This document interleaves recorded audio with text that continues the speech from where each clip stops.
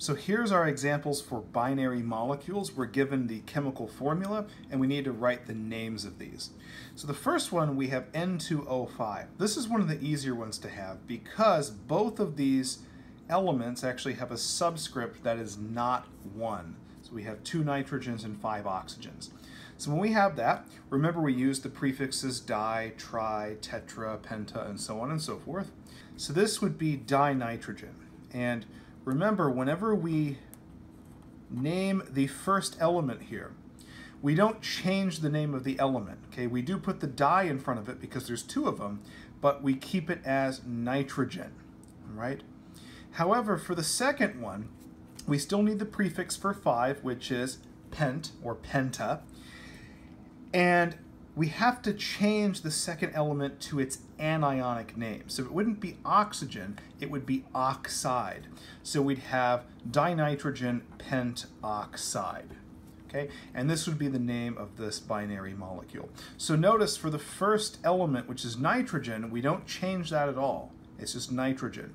But for the second one, we do have to change it to its anionic name. So instead of oxygen, it would be oxide. Also notice that the technical uh, prefix would be penta. But if we put oxide after that, we'd have an A and an O in a row. We don't want that usually, so we're going to cross out the A and it would just become pentoxide. Okay? All right, our second example is CO2. We want to name this one. And you might already know what this is based on a biology class.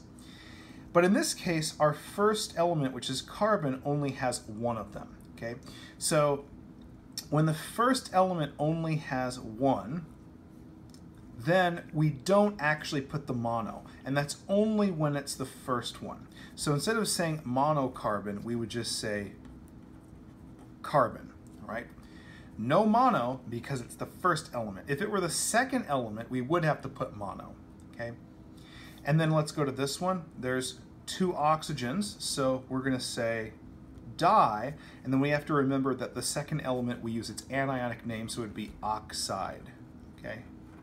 Now in this case, we still have two vowels in a row, but it's an I and an O.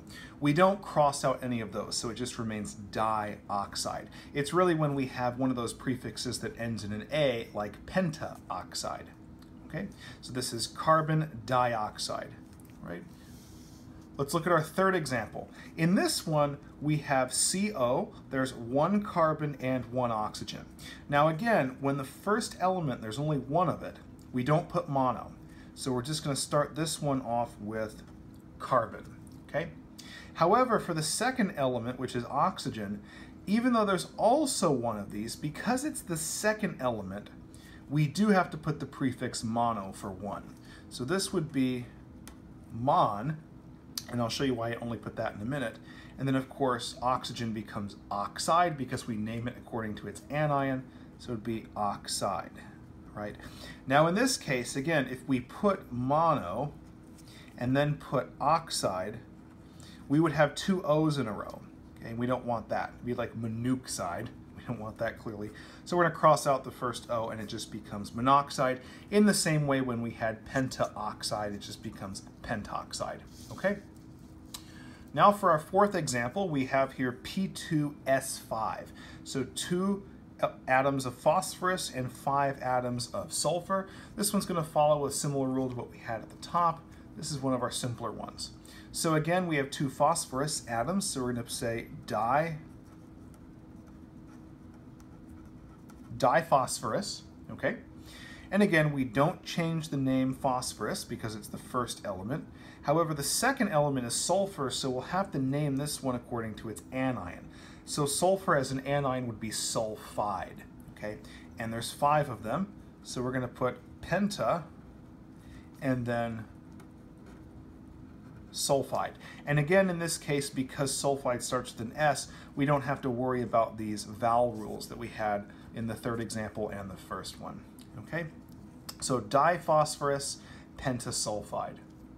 And now let's look at the very last one. So let me actually kind of fold this so we can see it a little bit better. It's in the screen. All right, so here we just have H2O. Now, this is clearly water.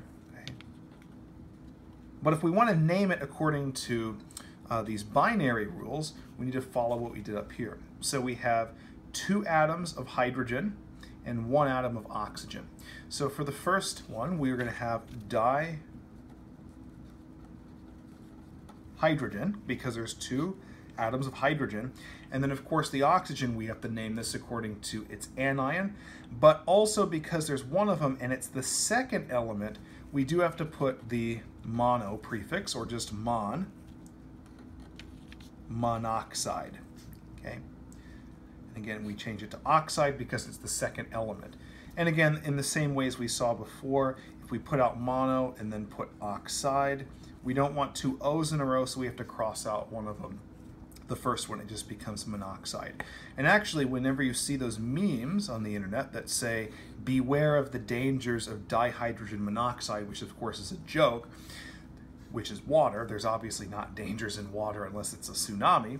But again, what they're doing is they derived this name from our binary rules. And so dihydrogen monoxide is really just the fancy term for water or H2O. They're of course doing it to sound smart so that you know people who don't know these rules can't follow the code and so forth. All right, so hopefully these rules make sense to you for naming binary molecules. Please make sure to like this video and subscribe to my channel for future videos and notifications. Thank you very much.